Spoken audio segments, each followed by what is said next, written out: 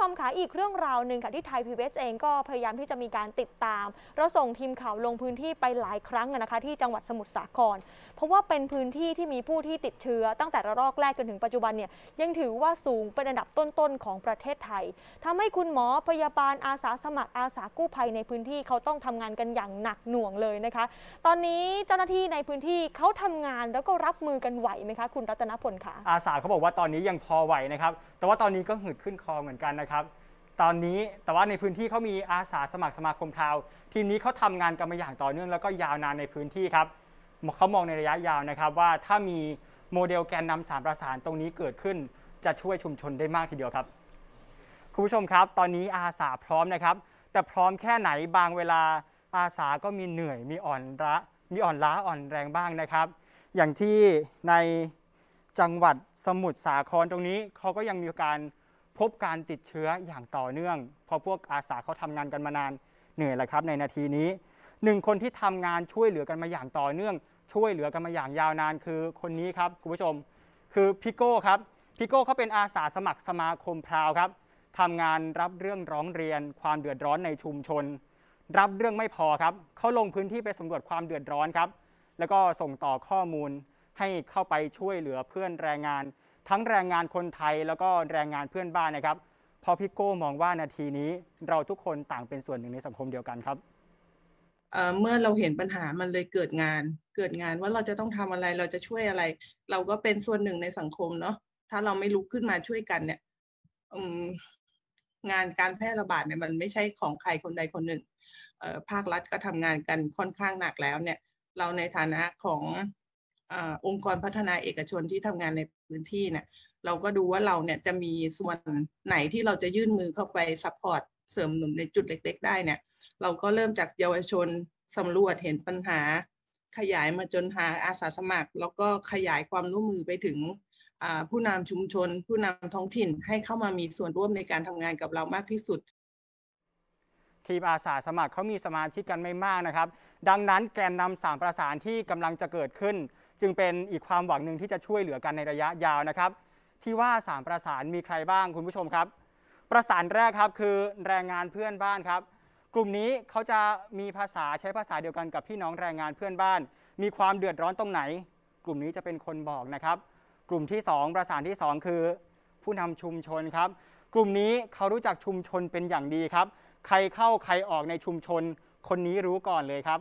และสุดท้ายกลุ่มเยาวชนคนรุ่นใหม่ครับ กลุ่มนี้เขามีความคล่องตัวครับ มีการเรียนรู้อะไรได้เร็ว และที่สำคัญเขาสามารถที่จะสื่อสารทำงานกับคนรุ่นเดียวกันได้ดีครับ เพราะว่าในพื้นที่จังหวัดสมุทรสาคร กลุ่มแรงงานเขาอยู่กันเป็นครอบครัวนะครับ มีพ่อแม่แล้วก็ลูกนะครับ ตรงนี้มันก็จะไปช่วยเพิ่มความแข็งแรงให้กับคนในชุมชนนะครับ คุณผู้ชม และที่นี้คุณผู้ชมครับเขาก็เลยมีพี่ๆอาสาสมา สมาคมพราวเขาทำงานเชื่อมตรงนี้ครับทำงานให้กับทีมแกนนำตรงนี้เพื่อประสานไปยังหน่วยงานที่เกี่ยวข้องในฝั่งนโยบาย ให้เข้าไปช่วยเหลือ เพราะว่าตอนนี้ครับแคมป์แรงงานก็ปิด แรงงานหลายคนไร้งานไม่มีเงินครับ เดือดร้อนกันทั้งคนไทยแล้วก็เพื่อนบ้านแรงงานครับ ทุกวันทุกวันอยากจะโทรหาเขาอยากคอมเมนต์เขาอยากให้เขามาช่วยไงเมื่อทุกวันนี้คือมันลำบากมันลำบากมากอะเงินจะกินยังต้องไปหาปลากินทุกวัน ทุกวันนี้ถ้าไม่มีปลาก็อยู่กันไม่ได้ลูกก็เอาไม่มีงานทำเลยใช่ไหมก็ช่วงมันก็มีมั่งไม่มีมั่งวันเว้นวัน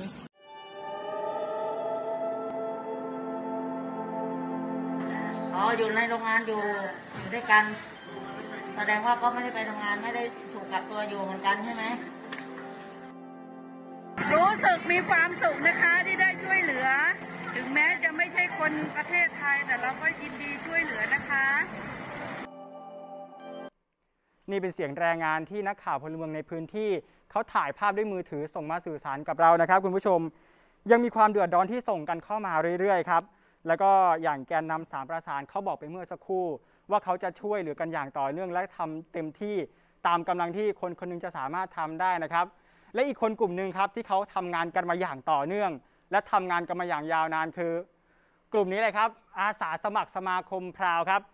พี่โก้คนเดิมเพิ่มเติมมีพี่อ้อยพี่นาครับพวกเขาเป็นตัวกลางในการประสานความช่วยเหลือ ระหว่างคนที่ต้องการความช่วยเหลือ แล้วก็คนที่อยากจะแบ่งปันนะครับ เฉพาะ 45 วันที่ผ่านมา พวกเขาช่วยเหลือไปแล้วกว่า 3 อำเภอในจังหวัดสมุทรสาครนะครับ แล้วก็มอบถุงยังชีพลงไปแล้วกว่า 1,300 ชุดครับ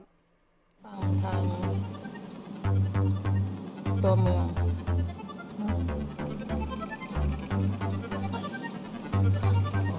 นะคะก็วันนี้ลำเลียงของ เอามาแจกผู้ประสบภัยในพื้นที่นะคะออกเดินทางไปอย่างปลายทางตามนัดหมาย จากปลายทางความเดือดร้อนที่โทรเข้ามาบอกถึงความต้องการ กุ้งอ๋อใช่กักตัวหกคน แต่ว่าพบเชื้อน่ะสองคนใช่พบเชื้อสองคนแต่เขาก็มาอยู่ที่นี่นะ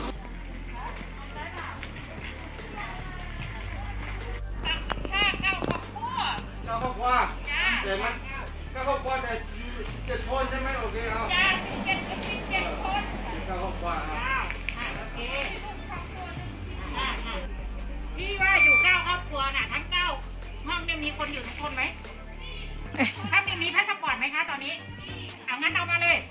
ได้แจกตามพาสปอร์ตจะได้แจกตามพาสปอร์ตเลยห้องที่ว่า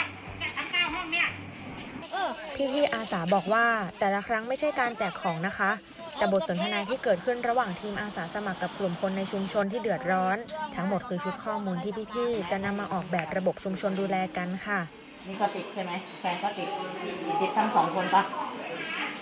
เอาติดคนเดียวอ่านั้นอีกคนหนึ่งก็ต้องระวังตัวเองดีๆนะ ลงไปเรามี อของมีอะไรไปแจก จริง ๆ พี่ไม่ได้เห็นด้วยกับการแจกนะ เพราะการแจกมันเป็นเรื่องของสังคมสงเคราะห์แต่ว่าในยามเนี้ยงานสังคมสงเคราะห์มันก็จำเป็น เพราะว่าปากท้องมันเป็นเรื่องที่มาก่อน แต่เมื่อเราเข้าไปทำงานในเชิงสังคมสงเคราะห์เราก็จะเห็นปัญหาของพื้นที่ เราจะเห็นว่ามันมีปัญหาในเรื่องของสิทธิมีปัญหาในเรื่องของสุขภาพมีปัญหาการศึกษา เราก็ไปอย่างการศึกษาเราก็ไปรับเงินช่วยเหลือแทนเด็ก การบ้านการเบิ้ลเอามาให้เด็กเนาะให้เด็กเขาได้ ได้ทำการบ้าน ได้รับค่าอาหารเหมือนเด็กทั่ว ๆ ไป แล้วก็ถ้าเกิดเขาทำการบ้านไม่ได้ ก็จะมีจิตอาสาที่ไปสอนการบ้านให้เด็กด้วย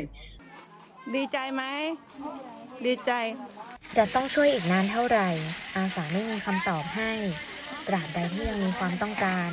อาสาก็พร้อมที่จะส่งต่อความช่วยเหลือค่ะ